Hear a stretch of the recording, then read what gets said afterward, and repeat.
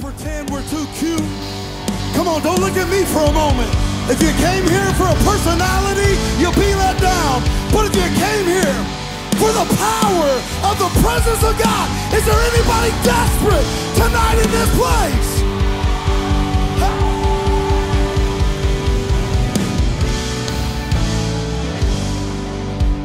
Before you have a seat, I need you to know with great expectation and intentionality, I need you to prepare your heart. I love what we say about Impact Rally. It's never an ordinary Thursday. But when I tell you I'm backstage losing my mind because I'm watching how God's Holy Spirit has been orchestrating for weeks this service. Every element, every moment. You go, James, that's cute. No, no, no, you missed it. Because if he did all of that and you showed up, there's something that his spirit wants to speak to you. There's something in your life tonight that he wants to transform, to reveal, maybe to redeem. The second half of scripture before you're seated. One of my favorite verses in scripture, which is always kind of weird to say because they're all good. It's the Bible. I love it all. It's just one of the highlights in the YouVersion app. Ephesians 2:10. For we, would you say we? For we are God's masterpiece. I love it. Somebody said workmanship. That's one other translation. But I like masterpiece because it greater reveals the intentionality that Paul writes with. He, he's saying, no, no, no. You're not just a byproduct of this cosmic God. You're not just some collision course of galaxies and, and genes and cells and no, no, no, no, no. You're a masterpiece. For some of you tonight, that offends you. You know, I'm not a masterpiece, James. I got so much going on inside of me, around me, against me. For we are God's masterpiece. Created anew in Christ Jesus to do the good things that He planned for us long ago. What do you do though when you feel like I'm His masterpiece, but I'm going through hell? Okay, James, you're saying I'm blessed, but I really feel broken. James, I, I, know he's a divine God, and you're saying I'm a divine masterpiece because of his divine creation, but I feel more like a disaster. See, in our culture, we're so used to discarding and throwing away broken things. Oh, I don't know about you, I'll be honest.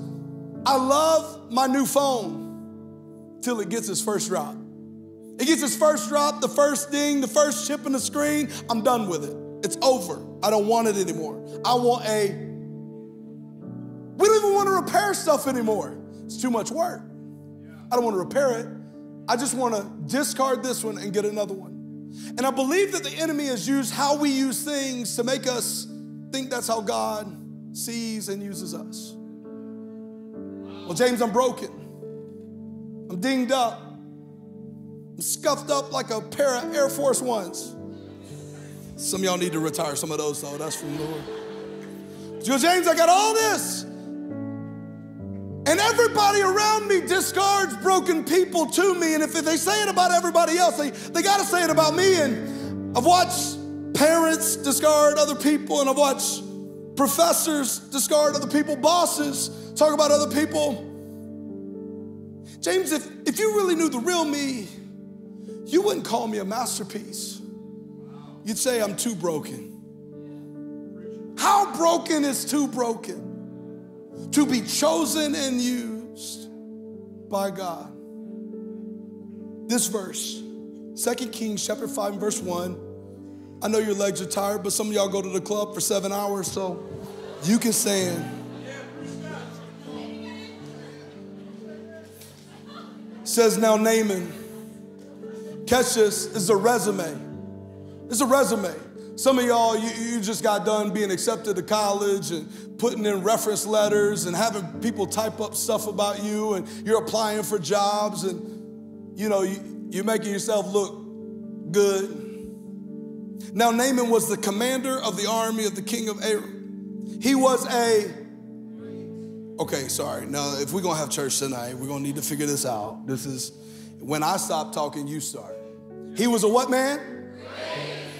He was a great man. In the sight of his master, he was highly regarded because through him the Lord had given victory to Aram. He was a valiant soldier. Listen, all of this is pretext to where we're going, but this is telling you this is not an ordinary person. You look at this and go, man, how could I ever measure up to that kind of masterpiece? But we reconcile the relevancy of this passage in these next four words. But he had leprosy, but he was broken, but he had a disease. He was strong, but he was still suffering. The title of tonight's message is simply this Trophies and Trauma. Trophies and trauma. You're in a room tonight and you go, James, I'm winning. Everybody thinks I'm a winner, but I'm still wounded. I'm holding on to trophies on the outside, but I'm wrestling with trauma on the inside. You showed up in the right place on the right night for God to speak to your spirit. Because even the trauma couldn't stop the plans that He has for me. I'm gonna ask you with hands lifted, eyes closed. Hands are lifted is simply an act of surrender. I'm asking you, before we get to the end, to determine right now, how will I respond? Because you make a decision and then that decision forms the rest of your life. You are in a critical moment, in a critical season of your life. Hands are lifted, eyes are closed, and we're gonna sing this just for a moment to remind ourselves that trauma doesn't stop the plans that He has for us. Trauma couldn't stop plans you have for me. Even the trauma you have for me. You ain't gotta sing it, we're gonna sing it over you for just a moment. Couldn't stop the plans you have for me. Yeah. Even the trauma couldn't stop the you have. Come on, two more times. Even the trauma couldn't stop the plans you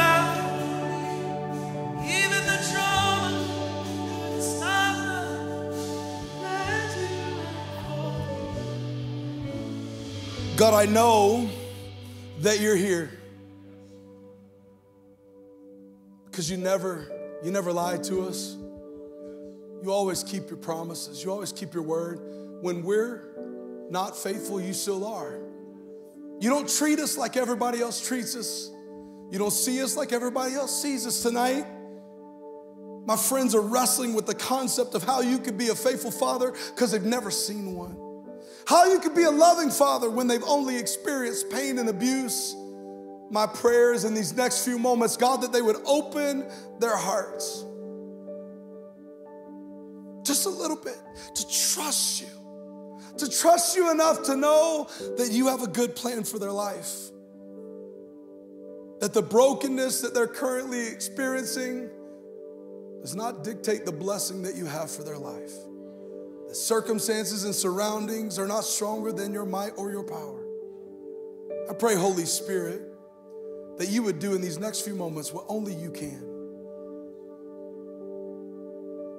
God, help us tonight to take off the mask and get real. I thank you for it. In the name above every name, the name of the only hope I've ever had, of the King who reigns supreme. In that name, in Jesus' name, we say amen and amen. Would you fist bump somebody have a seat?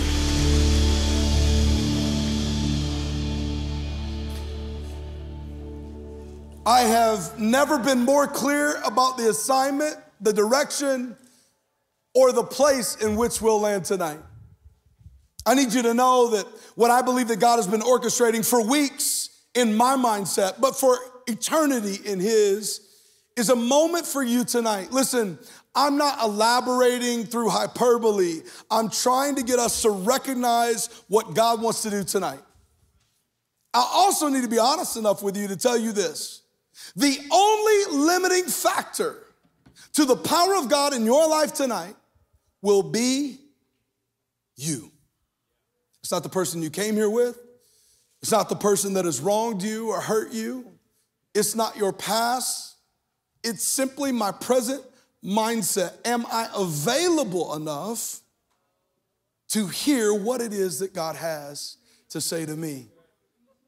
Now, I, I, I, know some of us in this room, when we talk about brokenness and wounds, listen, I, I want to tread lightly in the beginning so that we can really understand what I'm talking about. Because I think too many times we start coupling sin, struggle, shame, guilt, and brokenness all together. And the people who have suffered because of someone else's sin now feel the shame that they did not create. So there's some of us in the room that you're a leader, but you got a limp tonight. Like James, I, I just limped my way into rally. I, I, I got the face on. Man, it's good to see you Riley. Good to see you too, bro. Hey, you look good. Kicks look good. Shirt looks good. Good to see you. Hey, sis, how you doing? We're smiling, high fiving, and on the inside, we're dying. It's interesting that Many of us are in this stage of life where we're learning and understanding more things about science and biology and anatomy, and we learn so much about the things that you cannot see on the surface, but yet refuse spiritually or theologically to address things beyond the surface. What if tonight the work of the Holy Spirit is not so I can feel good, but so that I can live whole? See, the process by which you take broken things and put them back together is no easy process. It's, it's not simple. If you've ever really broken something, you recognize that the pieces don't always go back the way you planned. It takes a moment. It, it's a puzzle that was not created with a picture. And you're going, how do I put the pieces back together? And some of you tonight have been trying for years to put the pieces back together. I wonder if in this moment you would just say, okay, God, I've tried. I've tried everything I know to do, but I'll put the pieces out of my hand and into yours. The best person to put a masterpiece back together is the one who created it to begin with. Now, it's easy to preach to you about you, but I've been in church too long. For some of you, you don't know my story. I, I love that, that this really is family for me here at Impact. Listen, Impact, what, what God is doing in this church, in you and through you, is rippling around the world. Amen. Pastor Darrison and Pastor Witt have become more than just church friends, they're family.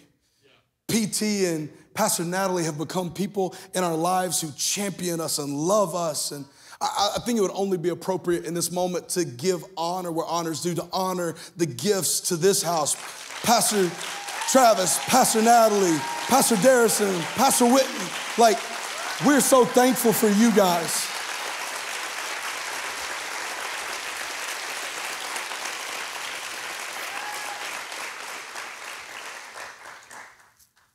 One of the reasons I love to do that is how much they hate it. Um, but for real, I love you guys. I'm thankful to be in a place where I can keep it a buck with you guys tonight. Because here's the deal it would be easy to tell you, you're going through brokenness. Isn't that easy? Isn't it easy to tell somebody else that they're drama? You know what I'm saying? Like, you're just too much. You're just over here kikiing about them. Like, oh, I can't believe they said this, this, this, this. It's a lot harder to look in the mirror. Listen, let me tell you tonight, you didn't show up, and there's some prolific, perfect preacher up here talking about somebody who's winning, still wounded. I got trophies. Oh, listen, I got trophies. I, I, I, got things that are God's blessings in my life. My, my greatest blessing that God's ever given me is the love of my life for 16 years, my wife for over 14 years, and she's here tonight. She's my ride or die. She's my bride. I love you. She's my boo. We're going on a date on Saturday. She don't even know. Mm-hmm. I'm just thinking about it. Back to the moment. I'm a father of two amazing boys. Braxton and Grayson, 10 and 8. They're staying up too late watching right now. Go to bed and do your homework. I love you. Look, you're also looking at a guy who I gotta have nicer shoes all the time because I still feel like a trailer trash three year old who was too poor, who was concerned about how somebody would think about him. I still spend too much time thinking about outfits. I'm just keeping it a buck. Because I still wrestle with feeling like people are gonna think I'm not good enough. You're like, oh, you're a preacher, you should have that thing together. I'm telling you, it's possible to be strong and still suffering. Yeah. Oh, I joke a lot about being holy and hood.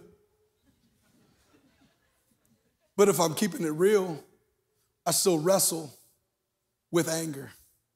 I still wrestle with when injustice happens with my kids, I don't want to act righteously. I, I, get more ratchet than righteous. I'm still struggling. If you showed up for a perfect preacher, come back when one PT or, or Pastor Darrison are preaching. Come, come back for them. Showed up tonight and it's just a broken dude trying to tell some broken people that God still heals. Oh, I, I know, I know, I know. You're like, wait, but you say you're still broken. I am. I'm still in process because some things are in the process of time. Some healings take a little bit longer. Oh, I would love it if I never got angry again. I never lost my cool on the road again. I would love it if somebody was late and I didn't get mad.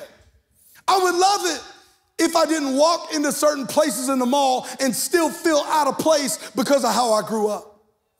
I would love it if I didn't still sit down at a restaurant and think people were looking at me and seeing me as a three year old living in a trailer. Go, James, you got to let that go. Well, I wonder what it is that you're not letting go of in your life tonight. See, I think the relevancy of what we find in the Old Testament, the first part of the Bible in this incredible chapter, Second Kings chapter 5, is, is a man named Naaman who has the right resume who's been wearing his armor. Listen, you can't be a valiant soldier and not have great armor.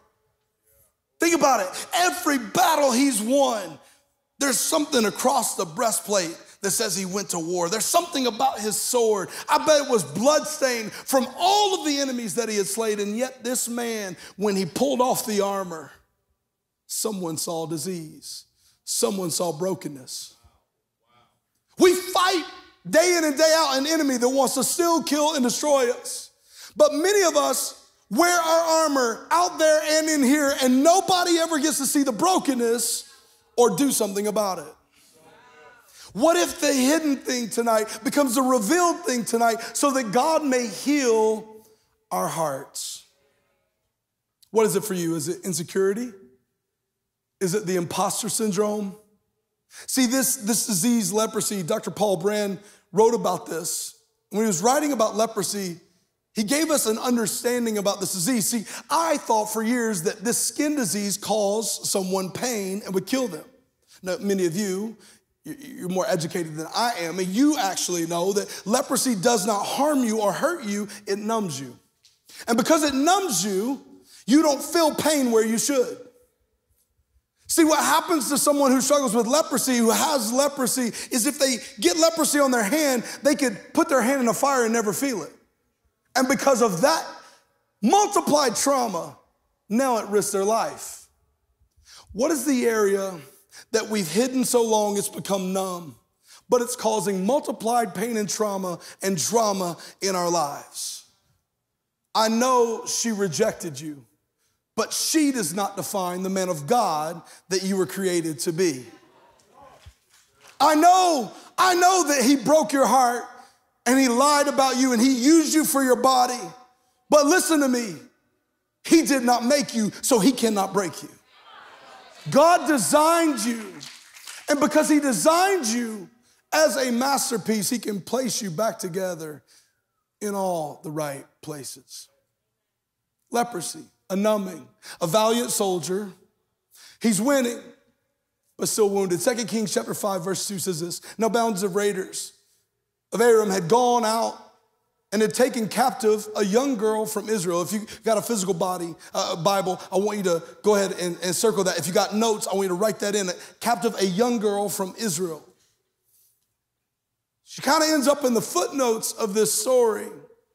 She had served Naaman's wife, and she said to her mistress, If only my master would see the prophet who is in Samaria, he would cure him of his leprosy. I don't get all of the context here because the writer doesn't give it to us, but you have to wonder one day if Naaman comes back from battle and takes off his armor and this young girl sees the leprosy, sees the disease. Is there somebody close enough to you to see beyond what you see? Is there anybody who's around you who can see beyond you? Or have you kept everyone at arm's length because you say, I'll never get hurt again? I'll never let anybody in again. I, I can't do it. You just can't trust people. What if the very people who God's assigned to your life to help heal some of the past pain and trauma you're keeping at a distance and they are, are divinely sent to your life to see beyond what you see? See, she saw the leprosy, but she didn't just see the brokenness, she saw hope past the pain. You need people in your life that when you are going through the dark night of the soul, they say, wait, but there's still hope on the horizon. You need somebody in your life that when you've had your worst day, they get into your life and say, New mercies every morning. You need somebody in your life that said, Though weeping endure for the night, joy comes in the morning. Oh, I need somebody in my life that reminds me that night and day are separated by 60 seconds. it's just a moment. I need people in my life that when I want to run from God, they push me towards Him. Who's the person in your life who's been seeing beyond you, but you've been confronting them and having conflict with them because they see a better future than you do? You're like, they keep calling me out. Maybe they're calling you up. Maybe it is that they're more committed to your purpose than your current personality. I don't like the fact that they keep checking me.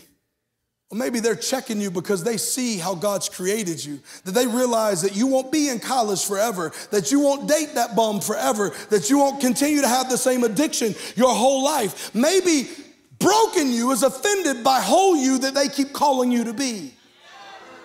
I need somebody close enough to me that I can trust them. All right, now look, here, here's what I love in church. Let's keep it a buck. All right, here's what I love in church. Some of y'all, y'all love that. You're like, I got five people I'm gonna talk to tonight. Soon as it's over, pop, pop, pop. You can't wait. All right, let me help you real quick. I can tell you one way you can know that you are not assigned to someone's life to tell them what it is that's going on that's wrong with them. You wanna know? One way. If you told anybody else first. Sorry, let, let, me look. If she, if she went to all the other servants and let them know, she went to the one person close enough to Naaman who Naaman loved and trusted the most. And she said, Ma'am, if my master could see the prophet, he would be healed. Who is it in your life right now that you've been talking about instead of talking to? Maybe God gave you vision to see the brokenness to do something about it, not to tell everybody else around them. Listen, God does not put you in anybody's life to tell other people about their sin. Can't find it anywhere in Scripture. The first thing you do, Matthew 18, is you go to them. Then, if they don't repent, then, then you get a couple people, you go talk to them, all right? Another way that you can know is this if I'm close enough to have contact, I'm trusted enough to have conflict. Why? There's power in proximity. I got to be close enough to your life. Listen, if I just breeze past you in the lobby at Impact Church, I don't know enough about you to correct you. You go, James, well, I got a word from God. Submit it to somebody who's close enough, who they trust and love. And you should start with Pastor Darrison or Pastor Whitney. Amen. We'll move on.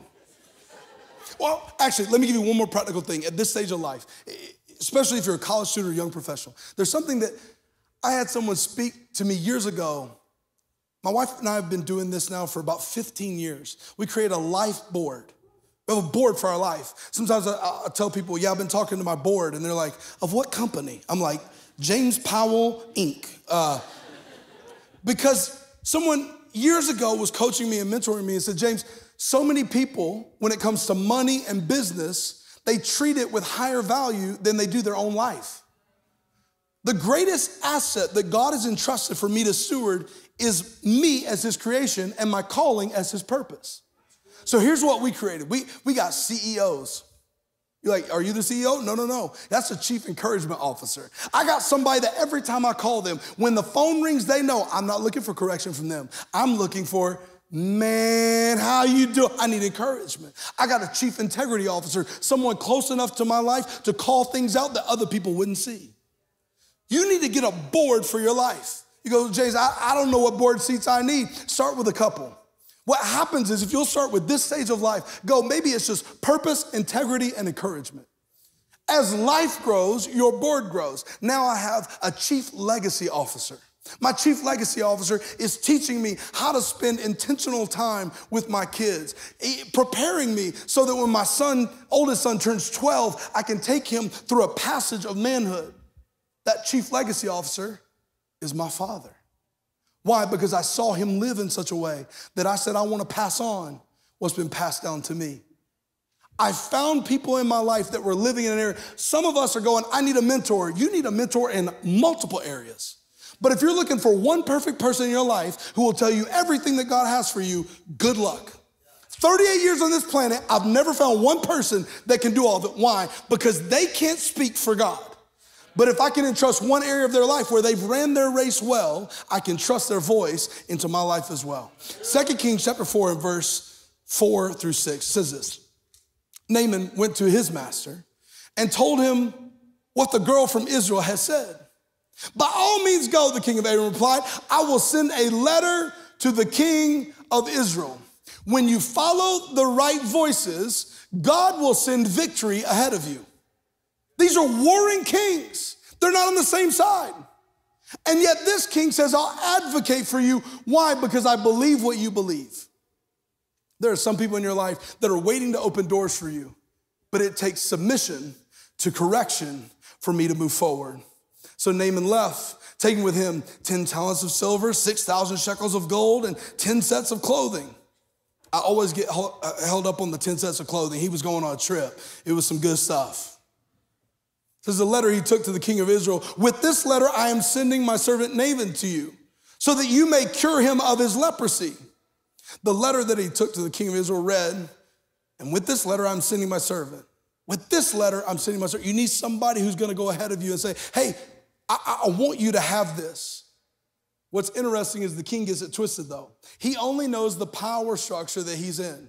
See, the little girl said, not that there's a king in Israel that can cure you, there's a prophet. Oh, you got to go to the right place for the right resource. I cannot go to the wrong place. Some of us, if we're not careful, we are toying with things. If I could just camp here for a moment, you're toying with tarot cards, trying to figure out your future. You're, you're, you're toying with psychics right now, trying to figure out where you want to go. If I'm out of line, correct me. But that is a demonic use of the spiritual realm. I'm sure they can tell you about your past, but there's only one spirit that can tell you about your future. You need to stop going to the wrong places just because they tell you when you were born and where you grew up, a demon can tell you where you've been, but only a voice from God can speak to where you're headed. Out of line? If I'm out of line, PT will shut me down. I would tell you this what I find in this passage is that Naaman had the courage to head in a different direction. If I could break it down this way, you're not stuck if you don't stay. You ever told somebody, I'm stuck in this relationship? I'm stuck in this job. Uh, one of the things that just absolutely blows my mind is when people want to tell you the same problem five times. Five times, the same thing over and over. If it's that bad, pack a bag. It's time to go. Now, I'm not giving you an excuse. If you're in a committed relationship, if you are married, stay in that marriage. If there's abuse involved, you need to go to a pastor, you need to have an advocate, you need to get resources, we need to help you. And if that's the case, you will get pastoral advice on what your next steps are. If you're not married, I don't know why you're still there.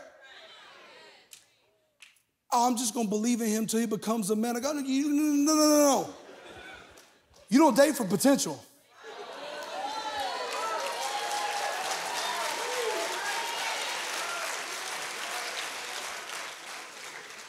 Listen, I married a woman. I married a woman who could see beyond me, but she knew she was going to have to deal with the real me.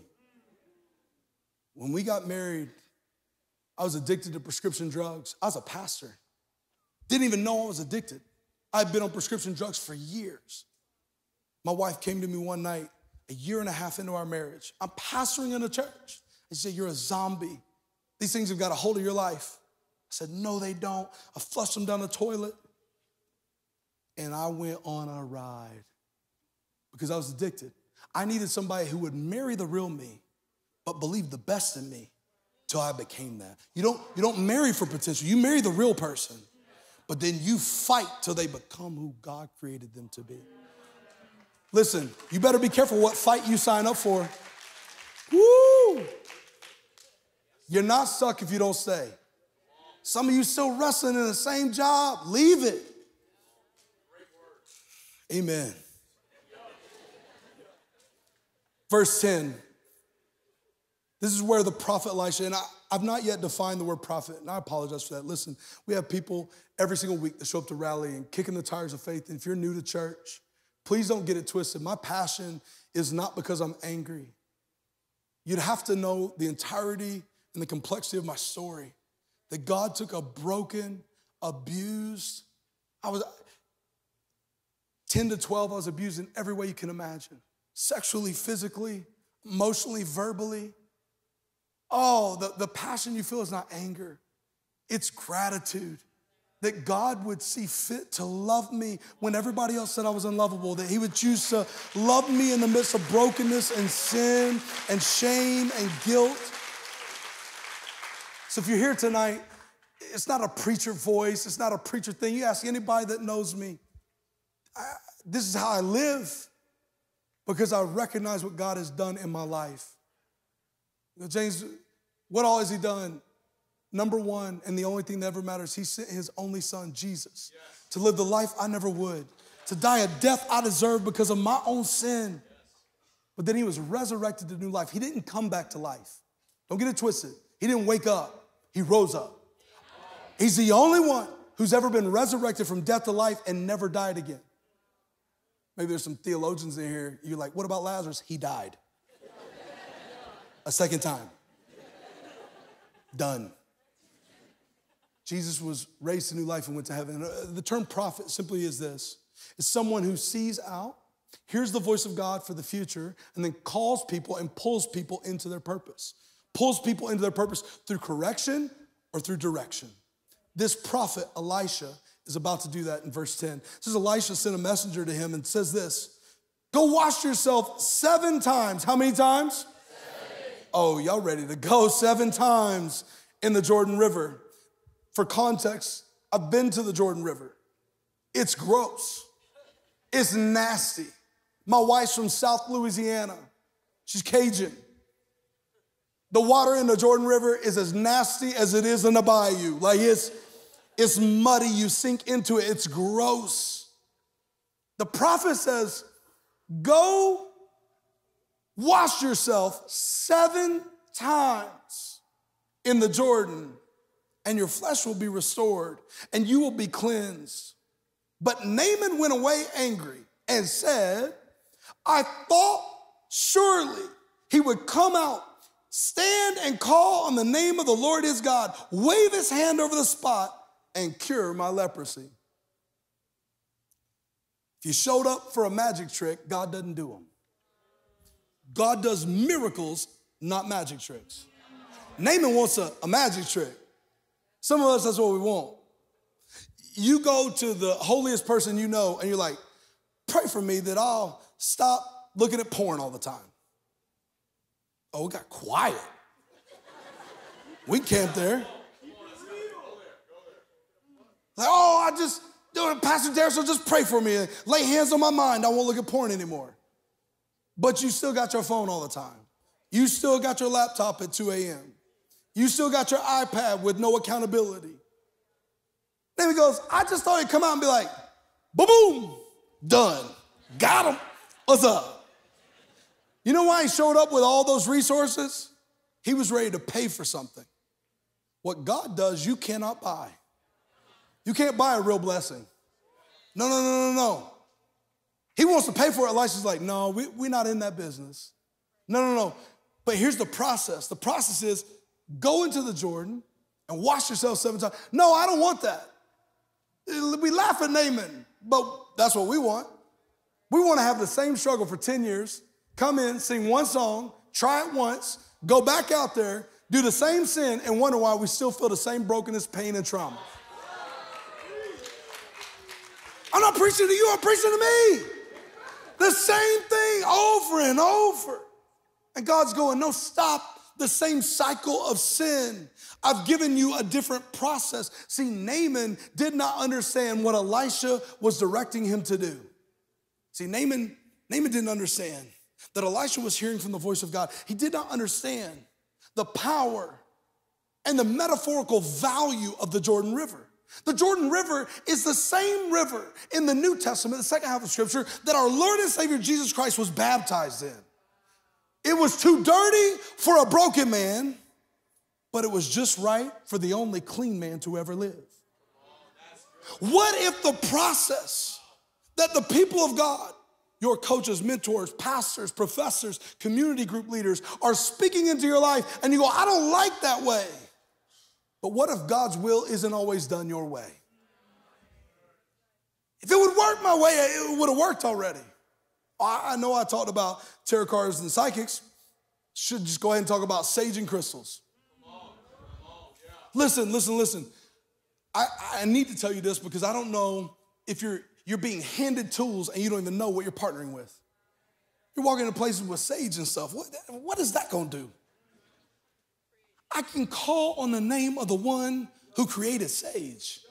I don't need to serve sage. Sage does not serve a purpose to cleanse a spirit from my house. I walk through my house and I go, God, I thank you that you are the one who dispels every spirit.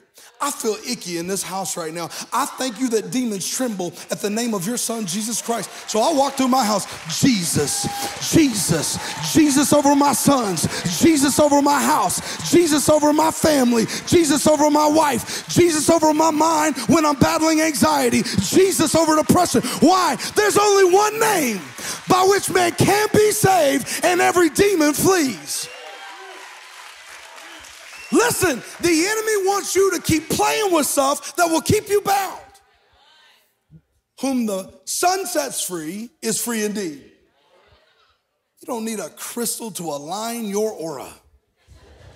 You need the Holy Spirit to fill your life out of the abundance of the heart, the mouth speaks. I want to be so full of the Holy Spirit that when I get angry, when I feel out of place, that the Holy Spirit rises up in me and reminds my mind, which is conflicted, greater am I in you than everything around you, greater than the enemy in front of you. You need to get the Word of God in your life. This book is not a history book, it's not a textbook. This is the ever living, ever breathing truth of the Word of God. I stand on this. It's my my foundation, it's my rock, it's my lifeline, it's my help in a time of need. My goodness. You got to sit down because I got to end. God's will is always done your way. I remember I was I was 20 years old. I was so conflicted. I was deconstructing my faith. I had no idea how to do it. We didn't even have that word. All I knew was, I'm out. I don't want to, I, was reading and studying the world's major religions, trying to figure out, am I going to be Buddhist? Am I, am I going to be Jewish or Hindu? Or, man, I was trying everything. Uh, some of you, you've walked through or are walking through maybe as, as an agnostic or as an atheist. That wasn't my thing. I, I knew there was something or somebody, but because of abuse, and pain inside of one church context with broken people, I was missing out on Jesus. Moved to South America, I was living in Ecuador. I remember one night, I was leaving my boss's house. I was walking through what they call Gringo Land. And I had flip flops and a backpack, which was a sure sign that I was an American. I'm walking down the street and it was an easy target for robbers. For time's sake, I'll shorten the story that I ran through a park to get away from them. I thought I was okay. I'm on the Pan American Highway, and these three men run up on me and put a gun in my stomach. And I can hear them begin to argue. I pretended like I didn't know Spanish, but I was interpreting what they said, saying, okay, take his stuff. The guy with the gun said, I'm gonna shoot him. And let's roll him in the park. Tears are streaming down my face, and they're yelling at me to put my hands down. There's crowds of people around me, nobody's helping me. All of a sudden, one of the guys who's robbing me gets in between me and the gun. Tells the guy, no, no, we got enough, and they ran away. I froze. The moment I was so mad, I was so angry. What are you doing? I'm out here trying to figure out if I even believe in you or this, and this is what happens. This is stupid. Why am I here? I wanted to fly back to the US, called my dad, was crying, so shook up. Remember, my dad said something to me, made me so mad at the time. Don't tell him. He said, Son, you are safer in God's will in Ecuador than you are in my house out of God's will. He is your protector, He is your provider. It began to transform how I embrace God because I thought I always had to be in the right spot doing the right thing. And, and yet, here God is while I'm deconstructing, going, No, no, no, you're still part of my will. I'm still covering you, I'm still protecting you.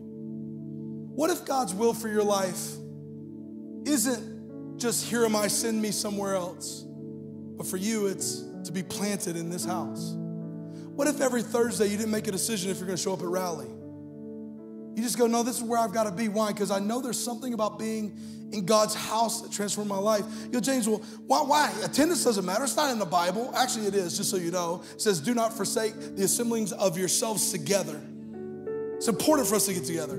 All the more as the day get darker. What if God's will is it done your way where you can just pop in and out? You can power through one verse on YouVersion and live a spiritually anemic life. What if God's will for your life? Maybe is to submit yourself to leadership at this house. Say, I'm gonna serve every week. I'm not gonna show up and consume. I'm gonna show up, I'm gonna contribute. I'm gonna be a part of what God's doing here. Why? There's something about when God does something in you and does something through you that it multiplies and maximizes what He's doing around you. What does God want to do, not just for you, but through you? I've got to choose to trust God even when I don't understand. Naaman gets angry, he's upset. Says that some of the people get together, 2 Kings 5 and 12 and 13. It says this Naaman speaking, he goes, Are not the Abana and the Pharpar, the rivers of Damascus, better than all the waters of Israel? He's still upset about this one dirty water. This man who's struggling with leprosy wants to get mad about dirty water instead of address his disease. I'd rather come in church and complain about the time. I'd rather come in rally and complain about the music. I'd rather come in rally and complain about the person who upset me or hurt me or said that one thing about me instead of push in to what God is asking of me. So he turned and went off in a rage. Naaman's servants went to him and said this My father, if the prophet had told you to do some great thing, would you not have done it? How much more than when he tells you, wash and be cleansed? We don't, we don't like it when worship leaders now in, in this generation, we don't like it when they tell us to lift our hands. Some of you got really upset when I was like, lift your hands. You're like, I don't want to lift my hands. Why do I have to lift my hands? There's nothing magical about lifting my hands. No. Is something meaningful about obedience? Is something about directing my heart posture of submission? PT told me right now, he goes, James, sit down. Guess what I do? I turn the mic off, I'd sit down. Why? I have a heart that is positioned to submit to the authority that God's put in my life. Listen, listen, hold on. I know it's not easy to clap for because some of you have been hurt and harmed by those in authority. But just because one person in authority harmed me doesn't mean the next person in authority can't help me. What if God has a covering for your life? I told the God on my own. You sure can. You have a high priest named Jesus who tore the veil for you 100%. But I need people around me who can cover me in the moments that I can't cover myself. So, 2 Kings 5 and 14. So Naaman went down and dipped himself in the Jordan. How many times? Oh, come on. How many? Seven. Times. The man of God had told him to do, and his flesh was restored, and he became clean, like that of a young boy. Seven times. Is it interesting how many times it say seven? Can I give you a little bit of Hebraic context for this? Seven would have said to every Hebrew boy, completion. Remember when Naaman didn't understand why? He was like, why the Jordan? He had no idea that Jesus would dip in that Jordan, that, that the Israelites had crossed the Jordan. He, he doesn't have enough context to understand the miracles that have taken place in that one place. And now his story will be shared for thousands of years, sharing in the same waters he thought were too dirty for him. But they were powerful, poignant. And seven, seven simply this completion. Elisha says, dip seven times. How many of us have tried what God told us one time and quit? I tried to tithe and give to a church. It didn't work. I'm still broke. You tried one time. Like you tried sinning for 15 years and you didn't give up on that. But when it comes to the work of God, I want magic, not miracle. It says Naaman dipped seven times and came up and his, his skin was made whole. I gotta wonder, because you know how I would have liked the miracle if I'm Naaman? Like you dip one time, you come up and you're like, oh, it's fading. We don't see it. That's what I want. I want, like, God, show me what you're doing. God, show me you're working it. Show me how you piece these things together. I don't think that's the way it worked. He dipped one time and came up. Stupid water. An idiot. I knew he was just making fun of me, telling me come down here in this Jordan River. This is stupid. I got to believe that young girl was on the bank going, just do it again. Don't give up. Try it one more time. He said seven, Naaman. Fine, two. I did it. It's still not working. No, no, no, but he said seven. He didn't say one, he didn't say two, he didn't say three, he didn't say four. Listen, when they walked around the walls of Jericho, it wasn't stop on six, it was complete to seven, shout on seven, dip to seven. What is it that God's asking you to do tonight? You go, James, what are you saying? Do I got to do one, two, three, four, five, six? No. Complete surrender. How do you wash yourself? All the way under, all the way up. There's victory in the value of obedience, but partial obedience is disobedience. I cannot work the will of God halfway and expect God to do it the whole way. If I want full healing, it requires full surrender. Do you hate being broken bad enough? I do. I do. Do you hate feeling shame bad enough? I do. You go, James, but you told us up top you still deal with this stuff, but I'm still dipping, baby. Every time I can get in God's presence, and that's not just on Thursday or Saturday or Sunday, that's riding down the road going, God, today I need the power of your Holy Spirit. I need you to speak to me. I need a father who doesn't abandon me. I need to know that you're here for me. Because, James, I'm so struggling watching porn or I'm struggling with the addiction to alcohol. I'm, I'm struggling with the addiction to Adderall. I'm buying it off all my friends on campus right now and I can't get enough. And you're struggling with this. Here's what I'm telling you it's hard to sin if I stay in the presence of God. James, how do I do that? Some of you need to pop your AirPods in. I lived on the college campus for two years. Y'all leave them in all day long anyway.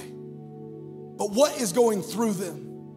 I want to stay in the presence of God. Why? If I can stay there, completely surrender, He begins to reforming me, reshaping, remembering me, putting back together the broken pieces, saying, No, no, no, for you are God's masterpiece. Oh, you must have forgot. You must have forgot that, that this man Naaman, this man Naaman was not forgotten. Listen, he was against the people of Israel. He was against them, and yet God does something for him and through him. And now, through eternity, we'll tell the story of his obedience. What is it that God wants to do in you, through you, and for you that isn't just about you, but is tied to those around you? You're like, that was Dr. Seuss. It was way too hard to understand what you just said. Let's go straight Alabama. God loves the people around you too. And He wants to do a miracle in your life. Because the greatest testimony and witness that I have of the power of God is not just that I understand all the scriptures say, but I've partnered with them and the way I live is different. The way I act is different. The way I process is different. I do not allow the trauma or the trophy to dictate my life anymore. I have a Father in heaven who gets to guide me and lead me because He created me. That's what I want for you tonight. And for some of you, for some of you, tonight, you go, James, I don't feel broken. I feel whole. I feel great. God's blessed me. I'm walking liberated. Amen. You want to know your role in the story? To be like that servant girl. We don't even get her name, but she knew who to run to and where to find them. I dare you to show up at your job on your college campus and tell somebody, hey, I, I know what you've been going through. I know you're going through that breakup. You feel abandoned. You feel alone. I, I know that you just experienced death and grief and loss in your family. Listen, I know a place. They're not perfect, but they got some hope. I, know a place. They're not just excited, they're passionate. I know a place. Oh, they, they got it all together. Some days they're falling apart, but they know the one to rely on and lean on. I wonder what it would look like for us tonight to say, I'm gonna make a conscious decision. I'm gonna make a decision to say, God, I won't just dip once. I won't just dip twice. I won't just come to this, this altar. An altar is an expression for this, a place where I exchange what I have for what He has. Simply as in the Old Testament, they would take a sheep, a goat, a dove, and they would go and offer that. And God would meet them there and take this thing and exchange His righteousness. Yeah, James, I didn't bring a goat, thank God. But tonight, maybe this altar becomes a place of great exchange. Some of you, you need to lay down your trophies tonight. It's your armor.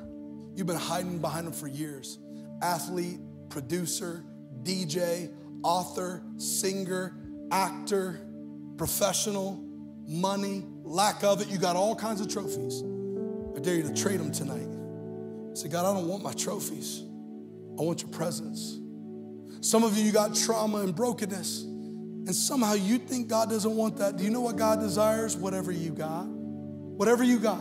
You come to the place of great exchange tonight and you lay down trauma and pain and abuse and brokenness, anxiety and depression. Look, you're looking at somebody who has struggled with anxiety his entire adult life until two years ago in a February in February of two years ago was the last time I had an anxiety attack. God reminded me recently, said, James, you told everybody about your story of how you have anxiety. It's time you give me glory that I'm still the God that heals. I'm still the God who can remove anxiety and depression, suicidal ideation, brokenness. Some of you tonight, it's your time to get free.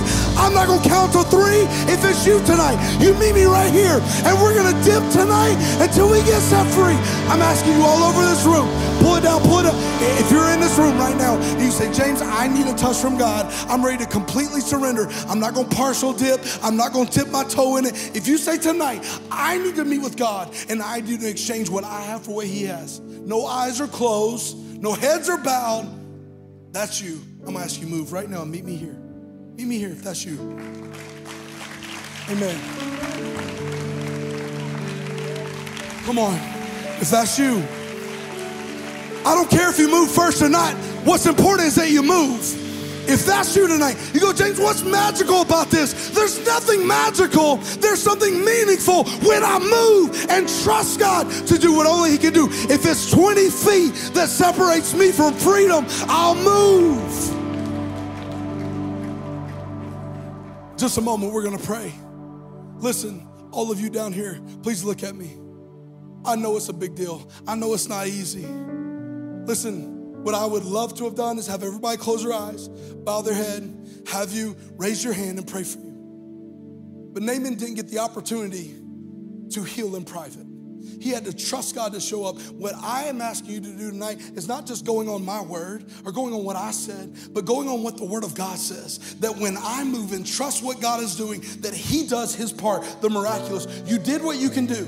Now you can bank on God doing what He will do.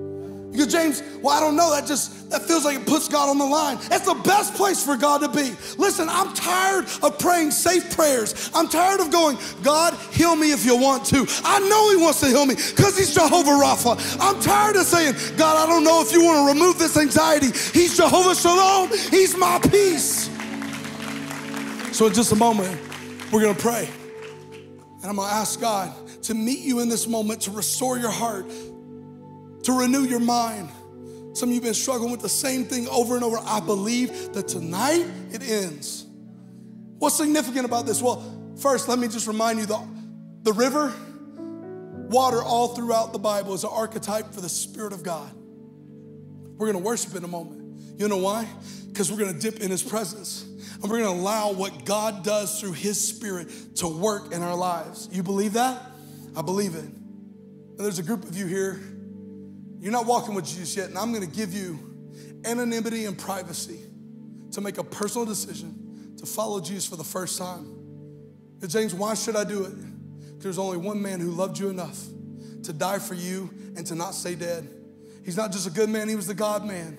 And if he took care of death, if he took care of forever, he can take care of now too. I'm asking you to surrender your life tonight. It's the best decision you'll ever make. It's not the easiest, but it's the best. Some of you tonight, you've been living one foot in and one foot out. Tonight, you put both foot in. And you say, Tonight, I'm committing to following Jesus. I'm gonna ask everyone in this room, bow your heads and close your eyes for just a moment. You're here. On the count of three, I'm gonna ask you to raise your hand. I will not stand you up. I will not call you out. I will not call you forward. What I will encourage you to do is, after I pray for you tonight, to tell somebody, Tonight, I met a man. His name is Jesus. And he loved me enough to die for me and erase a new life. If that's you, you want to start a, a relationship following him. Well, it's the best decision you'll ever make. On the count of three, would you raise your hand? One, you didn't show up by accident. Two, he's had this moment marked on his calendar since the dawn of eternity. He doesn't want to judge you, he wants to love you. If that's you, on the count of three, would you raise your hand in this place? I see you. Come on. I see you. Wow, I see you. Come on. I see you. I see you. I see you. I see you. Come on. Hands are going up all over this place. I see you. I'll wait on you. I'll wait on you. Hey, you keep going. I'm waiting. Yeah, I see you. Yes, ma'am. I see you. Yes, ma'am. I see you. Come on. He's still working on your heart. I see you. You can put your hands down. I'm going to ask you, rally, stand up with me. We're going to pray. God, I thank you that you're in this place, that you are a loving Father, that you sent your one and only Son, Jesus Christ, to live the life we couldn't, die the death we deserve because of our own sin and shame. But you were raised to new life to prove that nothing would ever stop your love for us. Not our past and not our present. I thank you that you have a hope and a future, good plans for our lives. I pray for my friends that tonight, for the first time or first time in a long time, they would trust you with their life. And as they do that, God, that you would lead them and guide them into true freedom a life forever with you. I thank you that because of tonight, their name is written in heaven, their eternity and future is secure, their past is forgiven, and their purpose is cemented. That they are now sons and daughters of the Most High King. Thank you for it. I'll ask everyone in this altar space if you'd lift your hand. The worship team's gonna start singing. I'm gonna ask every leader at Rally, every pastor, every volunteer, I'm gonna ask you to make your way forward. Tonight, we're gonna pray with people. I believe that tonight no one will stand alone, no one will endure this moment alone. Naaman had people around him to believe with him. We are a family. We're not a community that just shows up for a performance. We get into life together and pursue the presence of God. So I'm gonna ask you, move now. Don't wait on the one, two, three. Don't wait on the go. You go find somebody. You find a brother and a sister, and you start praying. God, I thank you that tonight this is the place of freedom. I thank you that tonight anxiety does not rule and does not reign. I thank you that addiction no longer dictates tomorrow or the next hour. I thank you for freedom from lust. I thank you for freedom from the addiction to pornography, the addiction to Adderall, the addiction to alcohol, the addiction to weed, somebody to addiction to heroin and meth. I thank you that tonight, whom the Son, your ah. Son, Jesus Christ, has set free, that they are free indeed. I thank you for healing from past trauma, abuse, abandonment. Some who are dealing with the effects of sexual abuse as a child, I pray tonight you, as a loving father, will begin to restore hearts and minds some that are waking up at night with night terrors, that tonight would be the first night of peaceful sleep. I thank you that your word says you keep them in perfect peace whose mind is stayed on you tonight. We fix our thoughts on you, we fix our mind on you, we fix our heart on you. I pray for some who are dealing with the pain of rejection from friends, pain of rejection from past relationships, going, I'll never love again. I pray that tonight they would be filled with the only love that lasts forever. I pray that tonight your love that casts out all fear would fill their hearts. I pray for tonight healing in family relationships. For some of my friends, I pray for forgiveness. If that's you tonight and you go, James, I'm just be honest, I need to forgive somebody. That's the pain and the trauma that I'm carrying. If that's you, would you lift your hands? I pray right now, God, I pray that you would give us the power of your spirit to forgive. You know, we are not humanly capable of forgiving on our own. But God, if you forgave us of our sin because of our relationship with you, because of the power of your spirit, would you help us to forgive what we cannot forget? To forgive the pain, to forgive the trauma, to forgive the abuse. Would you help us tonight to live set free? I pray as we do that tonight, God, that you would restore joy back to our lives your word says that bitterness dries up the bones. I pray tonight that youth would be restored to my friends, that there would not be bitterness or offense that clogs the arteries of their heart, but instead love, peace, joy. I pray for supernatural joy like never before would begin to spring up like a well in their hearts. I thank you that a byproduct, a fruit of your spirit is joy. Some of my friends have been walking around with depression. I pray that joy would supersede the jeopardizing effects of a depression, that they would be set free in Jesus' name.